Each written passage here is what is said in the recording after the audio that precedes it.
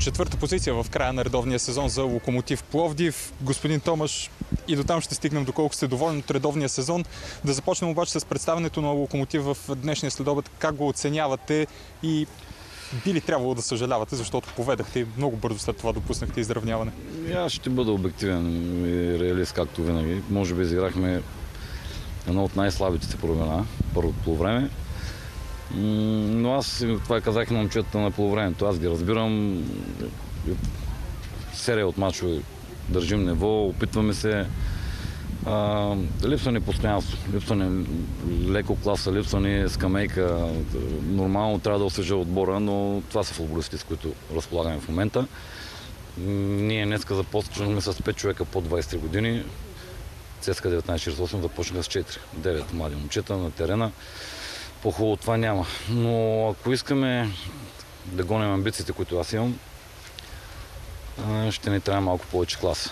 Но в крайна сметка не мога да не съм доволен от футболистите. Опитват се точно това, което искам, стараят се. Получават се и грешки. Виждате какъв гол допуснахме. ЦСКА имаха възможности, но ние старахме също. Така че може би закономерен резултат, но се надявам да може да възстановим футболистите.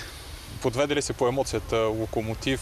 Тези млади футболисти, нееднократно ставаше въпрос за тях в последните месеци. Сега след гола, който Тодор Павлов отбеляза, наистина страхотно попадение за това младо момче, но пък след това и грешка в защита, за да стигне до изравнителния гол. Вижте, днеска Карагерен отбеляза гол.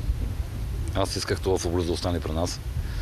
Да не казвам за другите футболисти, Локомотив може да изглежда по корно различен начин. Но в крайна сметка ние трябва да сме реалисти. Това е ситуацията.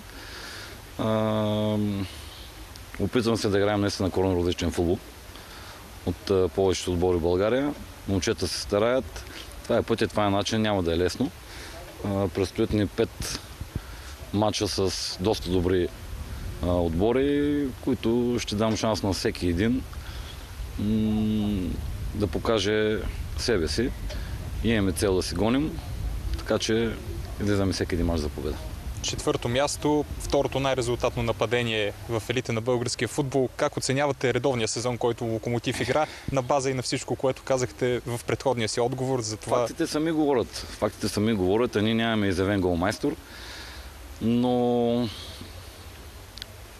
лично за мен, за отбора, окей, но лично за мен имам леко разочарование, защото искам да се боря за Европа. Искам. А, всеки ден го повтарям на футболистите. Може и аз да им вкарвам малко така напрежение по този начин, но един футболист израства под напрежение. Не може да ти е спокойно. Така че ще играем матч за матч, ще искаме да подобряваме себе си и ще гоним всеки един матч за победа. Това е. Все още го има шанса за Европа през бараж. Мечтаете ли вие, ясно казахте го, футболистите, Локомотив като клуб, мечтае ли за Вижте, това? в Локомотив, аз съм казал, има химия, има ДНК. А, липса ни класа. Това е истината. Липса ни класа. Днеска в отбора на ЦСКА имаше класа, особено отпред.